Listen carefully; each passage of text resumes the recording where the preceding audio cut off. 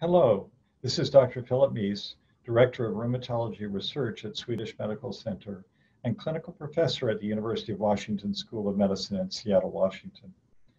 I will be discussing the abstract Ustekinumab is superior to TNF inhibitor treatment in resolving enthesitis in PSA patients with active enthesitis. Results from the enthesial clearance in psoriatic arthritis study by Elizabeth Araujo and colleagues. This abstract was presented at the American College of Rheumatology meeting in November 2017. I selected this abstract because this study focuses on the theory that inhibition of IL 23 is effective in enthesitis driven PSA patients.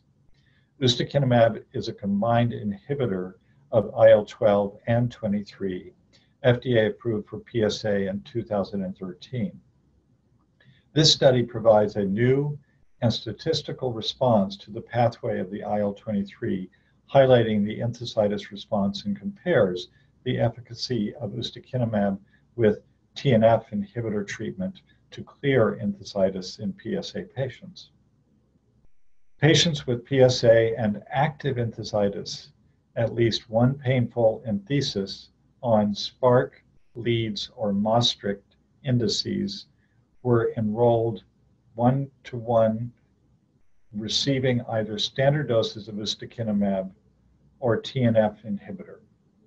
There were 23 patients in the ustekinumab treated arm and 24 in the TNF inhibitor treatment arm. The primary endpoint uh, was SPARC enthesitis resolution after six months. Patients were seen every three months and followed for a total of six months. What were the key findings?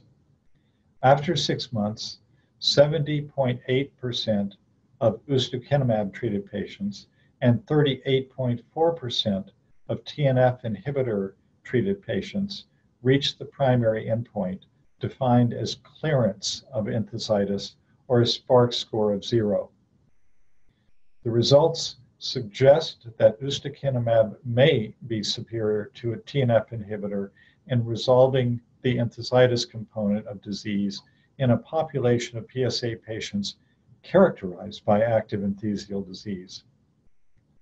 The SPARC enthesitis scoring system was more discriminative in ability to show statistically significant response than the Leeds enthesitis index. Before beginning my analysis, let's hear about some of the study's highlights from Dr. Araujo's perspective. These are her words. First, it is fair to say that most studies conducted in PSA to date focused on patients with predominantly polyarticular joint disease. Despite the fact that enthesitis is a common manifestation of this disease and reason for disability in these patients, it doesn't get much attention in clinical trials. We conducted this study in a group of PSA patients who had enthesitis as their predominant musculoskeletal manifestation and compared their response to two different types of cytokine blockage. Secondly, enthesitis was measured in this study through three different scoring systems the Maastricht, SPARC, and Leeds enthesitis indices, giving a very good assessment of the enthesial burden on these patients. Finally, our results support the concept that the IL 23 IL 17 pathway has a pivotal role in the development of enthesitis.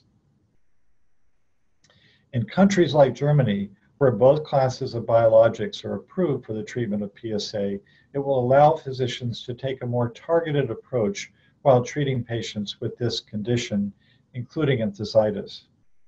Our study shows that in patients who have a more enthesial driven disease, the response to blocking the IL 12 23 pathway seems to have a superior effect as opposed to using a TNF blocker.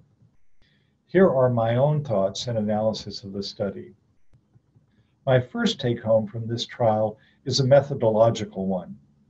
It seems that the SPARC enthesitis in index, which assesses 18 different enthesial sites, is more discriminative than the Leeds enthesitis index, which measures just six.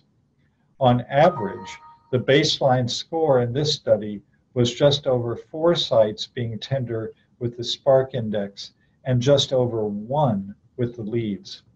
So simply by assessing more sites, it appears to be statistically better, at least in this relatively small study.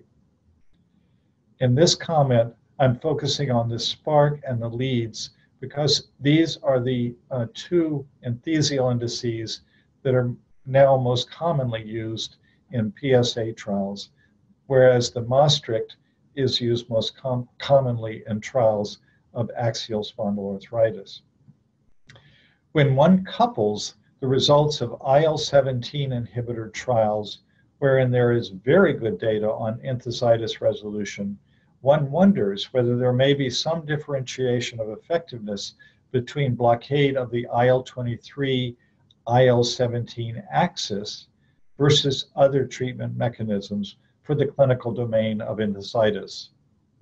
This question will be better addressed in the future when we see the results of larger head-to-head studies with differing classes of agents.